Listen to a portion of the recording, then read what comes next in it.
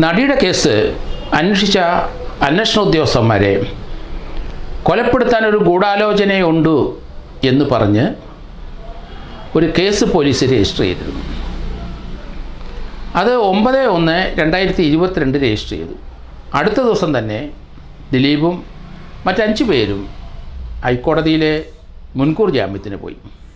കഴിഞ്ഞ പത്ത് മുപ്പത് ദിവസമായിട്ട് ഈ കേസിന്റെ ജാമ്യത്തിന്റെ വാദം പ്രതിവാദങ്ങൾ നടന്നു. അഡ്വക്കേറ്റ് രാമൻപിള്ള പ്രതിക്ക് വേണ്ടി ഹാജരായി. Prosecution advocate director of prosecution Shaji ഹാജരായി.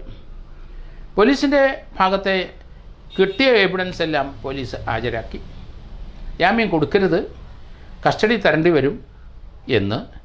അതേസമയത്ത് പോലീസിനെ അന്വേഷണ ഉദ്യോഗസ്ഥന്മാരെ കൊല കൊലപ്പെടുത്താൻ ഗൂഢാലോചന നടത്തി എന്നതിന് തെളിവായിട്ട് ബാലചന്ദ്രകുമാർ എന്ന സംവിധായകനും അതുപോലെ ദിലീപിന്റെ ഏറ്റവും അടുത്ത സുഹൃത്തും ഒരാൾ ഈ വിവരങ്ങളെല്ലാം തന്റെ മൊബൈൽ ഫോണിൽ രേഖപ്പെടുത്തിയിരുന്നെന്നും റെക്കോർഡ് ചെയ്ത് വെച്ചിരുന്നെന്നും.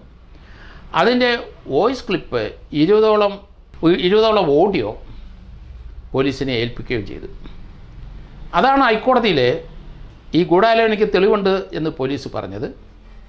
അതിന്റെ വാദി നേരത്തെ ദിലീപിന്റെ അല്ലെങ്കിൽ നടിയുടെ കേസ് അന്വേഷിച്ച ബിജു പൗലോസും അതുപോലെ തന്നെ ആ കേസിന്റെ അന്വേഷണത്തെ സഹായിച്ച സുദർശൻ എന്ന എസ് പിയും അതുപോലെ അന്നത്തെ S P A V George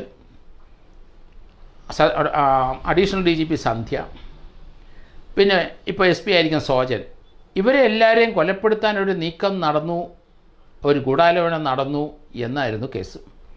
അതിലേക്ക് കുറച്ച് തെളിവുകൾ പോലീസ് ഹാജരാക്കി. ആ കേസിന്റെ അന്വേഷണം നടക്കുകയാണ്. അതുമായിട്ട് ബന്ധപ്പെട്ട് ഏകദേശം ഒരു ഏഴ് മൊബൈൽ ഫോൺ ആവശ്യമെന്ന് പറഞ്ഞു. ആ മൊബൈൽ ഫോൺ കോടതിയിൽ പ്രതിഭാഗം ഹാജരാക്കി. അത് അവിടുത്തെ രജിസ്ട്രിയിൽ കൊടുത്തു.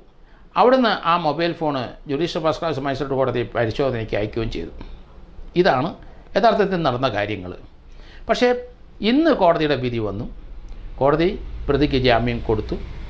അന്വേഷണത്തെ സഹായിച്ചില്ലെങ്കിൽ അല്ലെ ജാമ്യത്തിന്റെ കണ്ടീഷൻ വയലേറ്റ് ചെയ്തിട്ടുണ്ടെങ്കിൽ പ്രതിയുടെ ജാമ്യം റദ്ദാക്കും എന്ന് ഹൈക്കോടതി പറയുകയും ചെയ്തു. ഇതിനെ സംബന്ധിച്ചിടത്തോളം കഴിഞ്ഞ കുറേ ദിവസങ്ങളായി കോടതിയിൽ നിന്ന് ഇതുപോലെ ജാമ്യത്തിന്റെ മുൻകൂർ ജാമ്യത്തിന്റെ വാദഗതികൾ നീണ്ട് പത്ത് മുപ്പത് ദിവസത്തേക്കോളം നീണ്ടപ്പം അന്നേരം അത്രയും ദിവസം പോലീസിന്റെ ഈ കേസിന്റെ അന്വേഷണം തടസ്സപ്പെട്ടു അല്ലെങ്കിൽ അന്വേഷണം മുന്നോട്ട് പോയില്ലാത്തതുകൊണ്ട് ജാമ്യം കിട്ടുമോ കിട്ടാതിരിക്കുകയോ ചെയ്തിട്ട് പോലീസ് അന്വേഷണമായിട്ട് മുന്നോട്ട് പോകണം ഇതിനകത്ത് ഇനി കണ്ടെടുക്കാനുള്ള മൊബൈൽ ഫോൺ സീസ് ചെയ്യണം. ഇതിനകത്ത് കോടതി ഹാജരാക്കിയ മൊബൈൽ ഫോൺ ഫോറൻസിക് പരിശോധന നടത്തി അതിലേക്കുള്ള എവിഡൻസ് കരസ്ഥമാക്കണം. ഈ കേസിൽ ഇനി സമയം കളയരുത്. പല കേസിനകത്ത് നമുക്കറിയാം കോടതി മുൻകൂർ ജാമ്യം കൊടുത്തിട്ടുണ്ട്. പോലീസ് അന്വേഷണത്തിരിക്കുന്ന പല കേസിനും കൊടുത്തിട്ടുണ്ട്. അത് കൊടുക്കുകയും ചെയ്യും. അതിന് നിയമപരമായ ഒരു പ്രൊവിഷൻ ഉള്ളതുകൊണ്ട് അതെല്ലാവരും പ്രതിയായിട്ട് പ്രതിക്കോളത്തിൽ വരുന്നവരെല്ലാം അത് മുൻകൂർ ജാമ്യത്തിന് പോകുന്നത് സ്വാഭാവികം തന്നെ. ദിലീപും പോയി. ദിലീപിന്റെ കേസിൽ പോലീസിനെ സംബന്ധിച്ചിടത്തോളം ആ ഗൂഢാലോചനയ്ക്ക് ഉള്ള ധാരാളം എവിഡൻസുകൾ പ്രാഥമികമായി കിട്ടിയിട്ടുള്ളത് കോടതി പരിഗണിച്ചില്ല എന്നുള്ളതാണ് ഇതിന്റെ വ്യത്യാസം. ഏതായാലും ഇതിനൊരു അപ്പീൽ ഏതായാലും പോലീസ് പോകുമോ ഇല്ലയോ നമുക്കറിയില്ല. എന്റെ വ്യക്തിപരമായ അഭിപ്രായത്തിൽ ഒരിക്കലും ഇതിന് അപ്പീൽ പോകരുത്. പ്രതി ജാമ്യത്തിൽ നിന്നോട്ടെ അല്ലെങ്കിൽ അറസ്റ്റ് ചെയ്ത ജാമ്യത്തിൽ വിടണം മുൻകൂർ ജാമ്യത്തോട് നിൽക്കുന്ന പ്രതി ആയിക്കോട്ടെ.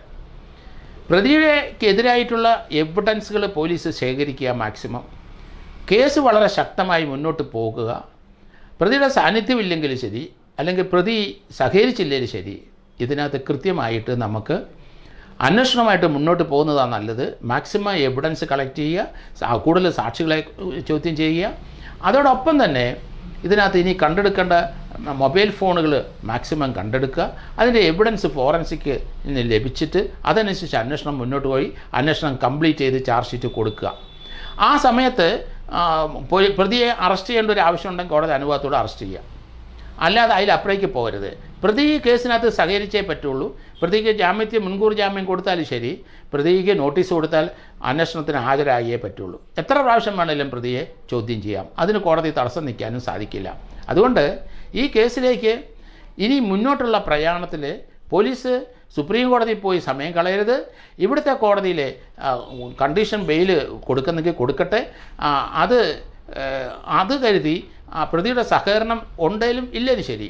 ഒരു പ്രതി സഹകരിച്ചില്ലെങ്കിലും എങ്ങനെയാണ് അന്വേഷിക്കേണ്ടതെന്ന് പോലീസിന് കൃത്യമായിട്ട് അറിയാം. അതുകൊണ്ട് ആ രീതിയിൽ അന്വേഷണം തകൃതിയായിട്ട് മുന്നോട്ട് പോകണം. ഒരു കുറ്റമറ്റ രീതിയിൽ കേസ് അന്വേഷിക്കുക.